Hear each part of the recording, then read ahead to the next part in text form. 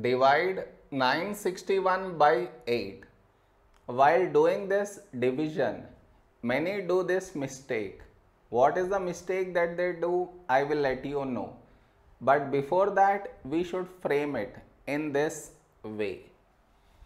That is 961 8 here. Okay. Next. Now here we have 9, here 8. A number close to 9 in 8 table is 8 ones 8. Now you subtract 9 minus 8 1. Now you bring down the beside number that is 6 down. So 16 here 8. When do we get 16 in 8 table? 8 to 16.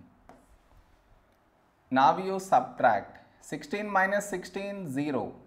Now you will bring down the beside number that is 1 down. This is where the mistake happens and the mistake is this. Here we have 1, here 8. 1 is smaller than 8. So what many do is they put a dot and take 0 here which is wrong. Just now you brought the number down and in the same step you want to put a dot and take 0 here which is wrong.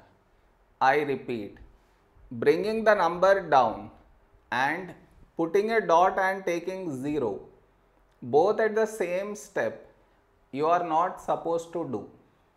Instead what you should think of is what number should we write here? If we write 8 here that is larger than 1. So what we do is we take 0 here. So 8 into 0, 0. Now you subtract 1 minus 0, 1.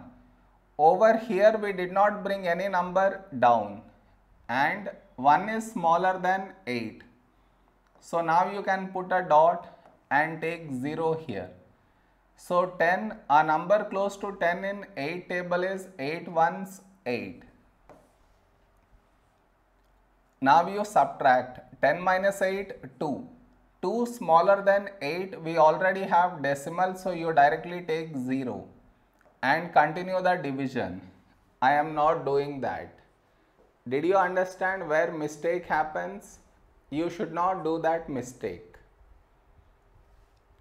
Am I clear?